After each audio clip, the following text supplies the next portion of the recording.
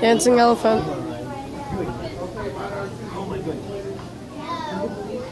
Somebody add music to this. This would be awesome.